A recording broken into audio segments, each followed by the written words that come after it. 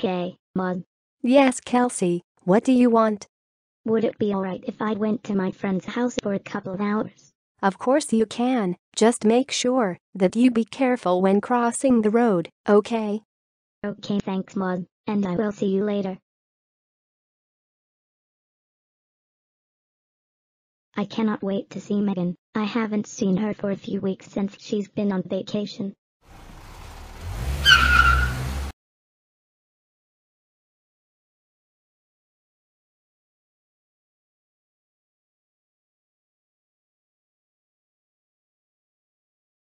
Hello, I need the paramedics. My 10 year old daughter just got knocked down, and the person who ran her over just drove off and left her lying in the road.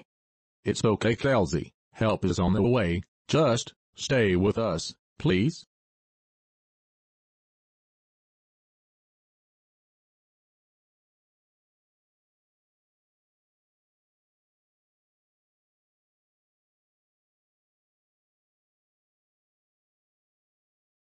I'm terribly sorry Mr. and Mrs. Cookson, but despite our best efforts, we couldn't save Kelsie and unfortunately, she didn't make it.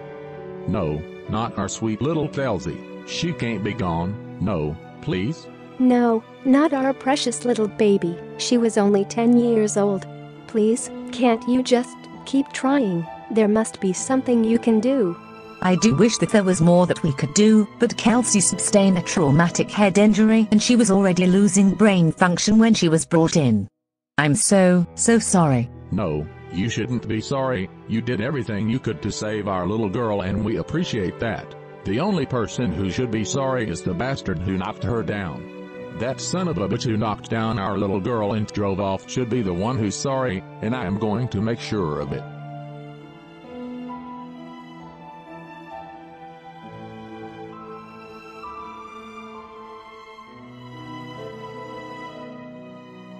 Don't you worry Kelsie sweetie, we will find out who did this to you and when we do, we will make sure that they pay for what they did, you will get the justice that you deserve. Yeah, we promise you, sweetie, you will get justice, and so will we. We will make sure that the person who put you in this grave is locked away for a very long time.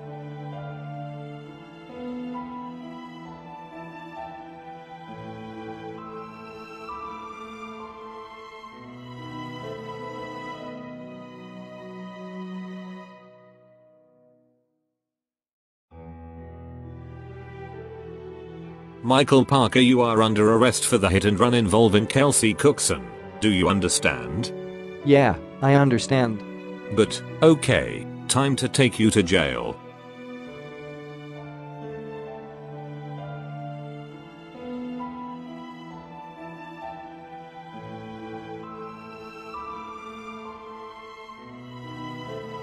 Mr. Parker, I hope you are aware that your reckless actions caused the tragic death of a child. Yes, Your Honor.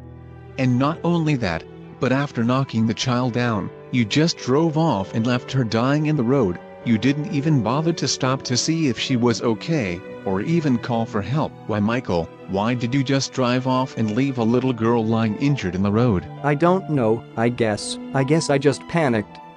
You're a coward. You hear me you murdering bastard, a coward.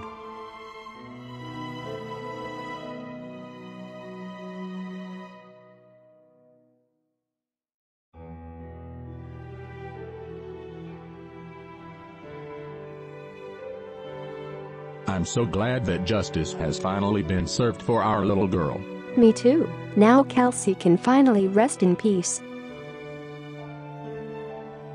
Thank you, Mom and Dad for bringing the person who did this to me to justice. I love you both so much.